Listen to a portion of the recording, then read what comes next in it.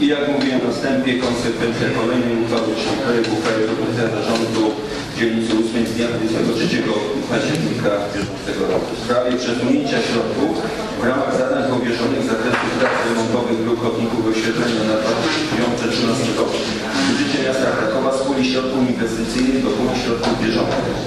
Merytoryczna treść uchwały. Paragraf pierwszy. Wnioskuje się o przesunięcie środków finansowych w wysokości 11,5 tysiąca złotych z programu zadań powierzonych z zakresu budowy i przebudowy ulic gminnych wraz z oświetleniem do programu zadań powierzonych z zakresu prac remontowych dróg chodników i oświetlenia w 2013 roku. Paragraf drugi. Uchwała wchodzi w życie z dniem podjęcia. Wynik głosowania do rządu 3 za, 0 przeciw, 0 wstrzymania.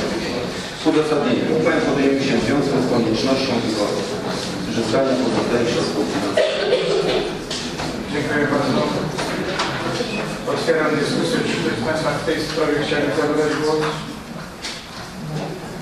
Nie ma chętnych, zatem poddaję pod głosowanie ten projekt. Kto z Państwa jest za przyjęciem, proszę o podniesienie ręki. Raz, dwa, trzy, cztery, pięć, sześć, siedem, osiem, dziewięć, dziesięć, jedenaście, siedemnaście, jedenaście. Dziękuję bardzo. Stwierdzam, że podjąłem stosowną pomoc uchwałę i kolejny.